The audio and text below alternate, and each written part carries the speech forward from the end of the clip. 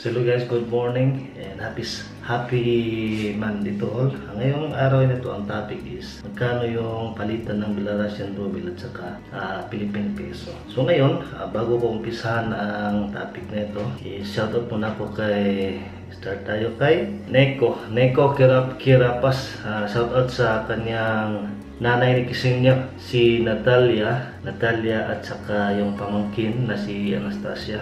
At saka kay Alex, Alex Motoride, uh, shout out sa kanya. At salamat sa panonood ng video. At saka kay Allen Broca, sa kanyang misis na si Devi Ann na nasa Abu Dhabi o daughter niya na si Yan Yan sa Tagum City. Salamat po bye, salamat sa palaging sumusuporta sa channel namin. Maraming salamat. Kay Nemo, Nemo, salamat. Then, saka kay Unknown, Unknown, ah, hindi ko alam yung pangalan niya. Ta, Unknown lang yung nakalagay sa kanyang channel name. Ah, salamat. Salamat sa sa iyo. Bayan. Ang ngayon palang araw na ito is Monday. May pasok siya ngayon si Galina. Ah, gigising ng maya-maya. Kasi 8.12 na 12. Diyan, makikita niyo si Prince diyan sa screen sa uh, screen saver. Siya yung artist. So ngayon pala, magkano ba talaga yung palitan ng ruble, Belarusian ruble at saka Philippine peso? Ngayon, explain ko sa inyo. Mag-start tayo sa pinakamaliit na set. So, ito yun guys. So, ito, hindi, hindi ko lang mapapakita sa inyo. 1 cent. So 1 walang focus. So ganito na lang gawin natin. So ito yung uh, 1 cent. So ang tawag pala sa kanila dito is kapik kapik 1 cent is dalawang centavos and then ito 2 cent is 4 centavos. And then 5 cent is 10, 10 centavos. And then ito naman mag-start na tayo sa G's pa, pa papuntang malaki. Sa pinakmalaking pera nito ito yung last 200 so dito na tayo sa 10 so yung 10 centavos dun sa atin is 2 pesos. Ang 20 is nagiging 4 pesos. And then 50 is 10 pesos. So start na tayo sa 1 ruble. So 1 ruble is 20 pesos. And then ito ng 5 ito yung start sa papel yung papel na pera so 100 so it times 2 mo lang magiging doble yung pera. So, 100, 200 pesos sa atin, 400 pesos. Wala akong dapat sana may 500. May 50. Kasunod ng 20, may 50. So, isang libo. Tapos, ito, isang libo naman is 2,000. And then, 200 rubles, ito yung pinakamalaking pera. So, 4,000 na papel sa atin. So, 200 rubles. So, eh, nagising na si Galina sa ingay ko ngayong araw na ito. Aga pa. 8 a.m. the morning. So, yun. Galing sa maliit hanggang sa malaki. No, yung minimum wage pala dito sa Belarus is $200. Yung mga bilihan naman dito, hindi naman masyadong mahal. Can afford lang. So, hello, good morning! good morning, Galina! Wow! Uh, yes, How are you doing? uh, exp- uh, показать и рассказать, да? Кая... Очень интересно у тебя здесь. Раз, два, три, четыре, пять, шесть, Сами- семь, восемь, девять, десять, один, двенадцать. Самый маленький иду, просто у меня нету 50, да? Мгм. Я тебе дам. Нет. So, bibigyan tayo ng 50. ah Yung yan, ano kami. Tanya, neto tooth. Oo. Mm So ngayon guys, papasok si Galina ngayong araw sa trabaho. And then, ah yung minimum wage pala nila dito, dito sa Cabilaros is $200 ah start nung nung January ah, 2023. Last year is nasa mga 180 yung minimum wage nila dito. Ah, ngayon is tumaas. Yung sa akin, ah, honestly, yung sahod namin dito, hindi naman masyadong malaki, hindi katulad sa ibang country na sobrang laki yung sahod. Ito sa Belarus, maliit lang yung sahod, hindi naman kasi mayaman yung country nila.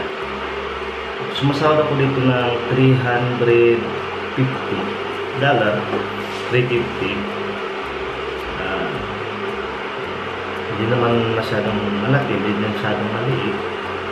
Sakto lang. Yung bayaran namin dito sa yung 350, maminusan ng 150. I-set aside yan sa ah, sa apartment namin. Salamat na ako, tinulungan, tinutulungan ako ni Galina. Half kami ng baya, bayad sa bahay. May 200 ako Galina. ah, tumitingin sa hindi ako makafocus. Ha? Hindi ako, yan yung. Okay. ah, hindi ako makafocus. Si Galina, nandito sa harapan ko. Bagong gising. So, ngayon, yung sahod na sahod ko dito, sa totoo lang, 350 dollar minus ah, 150 para sa bahay. Then, sa tubig, uh, kuryente, at saka ah, transpo, nasa mga tip 50 dollars. So, ilagay na lang natin may 150 pa ako. 100 sa pagkain. Month. Ah, half din kami ni Galing. Salamat din ako. Half kami ngayon dito sa sa pagkain namin. At least nag ah, nag uunawaan kami dalawa. Nagtutulungan. At salamat pala sa nag-comment si sino pala itong nag-comment nung nakaraan si shoutout pala sa iyo ah saan sino si Dilan pala. Dilan salamat salamat sa panonood ng video namin. Ah, ngayon isulat ko na naman si Kit Vlog yung palaging tumitingin sa video namin. So Kit Vlogs ah, amping amping Burme dahil shout out kay Aksana. Aksana shout out ah, Galina sister. Kasana Ding Kasana Ding Juts for Kinder English for Kids ha? Yes. Aksana Aksana thank you thank you for watching then si Joseph Alonsi from Min from Minsk So, iwan ko kung Pilipino. Pilipino ba si Joseph Alonso? And then si shout out si Dobilo Tan Dobilo Tan and B is and is. Shout out. Si Rujin Luz my brother. Wow. my brother shout out. At saka si sino si walang pangalan to si Zero. Zero. Dyan sa pala sa isan dito sa yung nasa gitna. Si Zero shout out then Lansley Lancelot Goss shout out Sheila Marie salamat sa panonood ng video namin Sa- salamat sa inyo sa inyo salamat Sheila Tsaka kay Marlo, Mario Salvador, Mon TV Diary, salamat. Amping diha permi sa Manila. Salamat, salamat sa iyo, Monty Bidayari.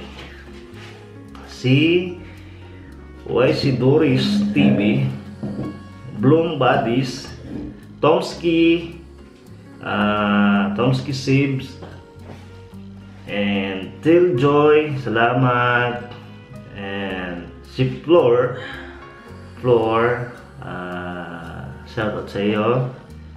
Tom Yaba, shout out, salamat. At si Igme Channel PH, ah, salamat, salamat sa iyo. Si Gil Gold Cherry, Noah Espinola, hello. Rolando Rivera, Lam Lams Pinks, Jar Malari, Julie Agkawili, at saka si si Incrypt, Danny Nicart, Putumap Gaming, Arnel Masicampo. So salamat sa inyo, salamat sa panonood ng video namin. So ito yung mga pira dito lahat na naka na naka So may pera na ako ngayon. Pwede na akong bibili na pagkain mamaya para sa konsumo namin sa ah, month, monthly allowance. Pupunta yan mamaya na ang trabaho. Galina, Mm. hello. Mm. so see you guys. Bye bye. See you next time.